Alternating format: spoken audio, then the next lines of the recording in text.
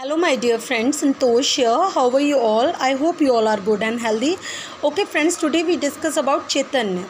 Chaitanya was the most prominent Vaishnav saint of Bengal. He popular for Krishna Bhakti in many parts of eastern India. He disregarded all the distinguish of caste, creed, and sex to give a popular base to Krishna Bhakti. His followers belonged to all castes and communities. One of his most favorite disciples was the Haridas, who was a Muslim. He popular the practice of Sankirtan or a group devotional singing accompanied by the uh, dancing. Chaitanya uh, movement, however, had a great impact on Bengali society. He is disregarded for the caste distinguished in the sphere of devotional singing promoted a sense of equality in Bengali life. In Bengal and in Puri in Odisha, his movement became popular.